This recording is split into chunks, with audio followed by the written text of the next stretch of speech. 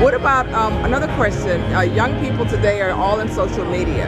There are uh, over 700 million people that are on Facebook. How do you feel uh, young people are impacted? Are there things that should be maybe kept from them at a certain age? Um, there's really not a lot of adult Im impact as far as what they see, what they hear. Right. And how is that going to affect our youth? Well, my, my first impression is the one thing that it, it takes away from for our youth is personalism. You know, when a youth walks past me and they don't speak because I'm old school, I got a problem with that. You know, hello, how are you today? So it takes the humanistic element and interaction out of it because you're either on your phone or you're sitting in front of a screen. Now, now I'm as guilty as the next guy. I tweet, I Facebook, I do it probably better than anybody out there, and if not, I'm right there with you.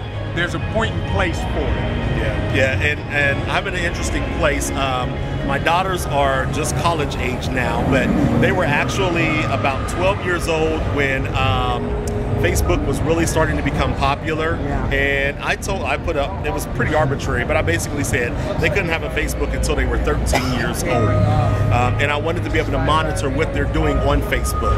Today, it's there. Um, the internet is there. Parents have to be attentive to what their children are doing. Absolutely. You can't pawn that responsibility off to anybody or anything.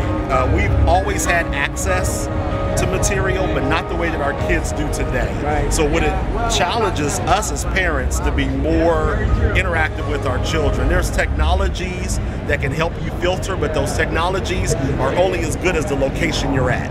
So if you put filters at home and they go to a friend's house, they now have full access. So you can't put up those those gates won't hold back the water. So you have to interact with your kids. And uh, if I may quote the Bible, train up a child in the way that they shall go, and when they're old, they will not depart from it. Absolutely. You, you can't get away from that. Absolutely. Right.